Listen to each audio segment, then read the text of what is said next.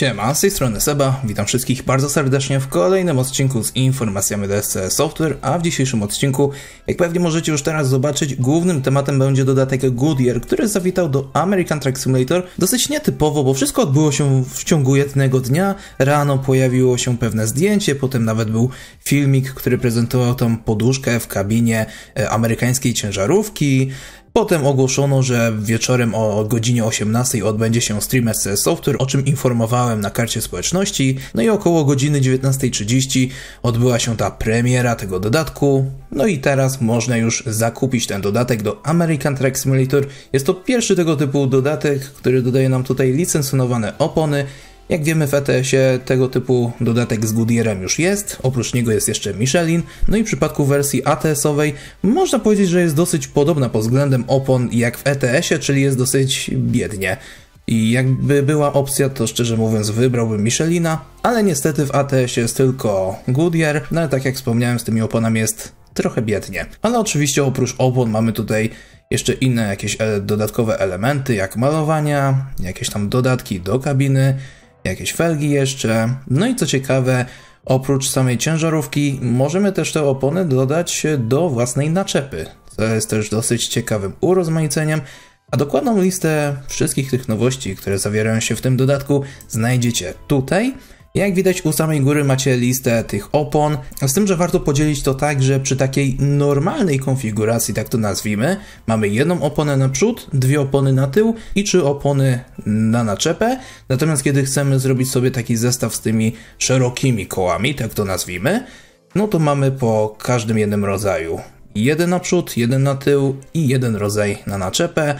Te szerokie wersje to są akurat te ostatnie opcje przy każdej tej kategorii, ale w sumie sumując te wszystkie opony mamy łącznie ich 9, jednak przy takiej konfiguracji to chyba ich tak nadal biedniej niż przy Michelinie w ETS-ie. No, czyli podobnie to zrobili jak w ETS-ie z tym Goodyearem, tam też jest biednie. Oprócz tego mamy jeszcze dodatkowe felgi na te naczepy, mamy wersję standardową i też oczywiście szeroką, felgę na przód, na tył, też dla naczep. Oprócz takich rzeczy mamy jeszcze dwa malowania, jakieś oryginalne Goodyeara i jakąś tutaj wersję Highline i do tego mamy jeszcze 13 przedmiotów do kabiny. Jeśli chcecie zobaczyć jak to mniej więcej prezentuje się w kabinie, no to tutaj mamy kilka tych zdjęć podglądowych. No są tutaj przedmioty takie jakie zazwyczaj pojawiały się w Cabin Accessories. Tutaj mamy właśnie te dwa malowania i jeszcze tutaj podgląd na naczepę w takiej wersji Goodyeara. Dodatkowo, co jest też ciekawe dla posiadaczy Euro Truck Simulator 2 i dla posiadaczy dodatku Goodyear do Euro Truck Simulator 2, otrzymacie za darmo te przedmioty, które pojawiły się jako akcesoria do kabiny z Goodyeara. Także jak możecie zobaczyć, pojawi się tutaj jakiś nowy kubek, jakieś pudełeczko, co tam jest dalej, jakaś puszka, czy co to jest, no i tego typu takie przedmioty. Także jeśli ktoś ma ten dodatek, no to otrzyma też te przedmioty, a jak nie, no to przy zakupie też będzie mieć je normalnie dostępne, bo to wlicza się oczywiście w cały pakiet tego dodatku. I to by było na tyle. Niestety nie ma tu żadnego wydarzenia, tak jak to było z Eurotrack Simulator 2, no ale przy ETS-ie też były te takie ciekawe zapowiedzi, jakieś tam filmiki się pojawiały i tak dalej, a tutaj wszystko odbyło się w ciągu jednego dnia. Także trochę mniej specjalnie, ale w każdym razie jest kolejny dodatek.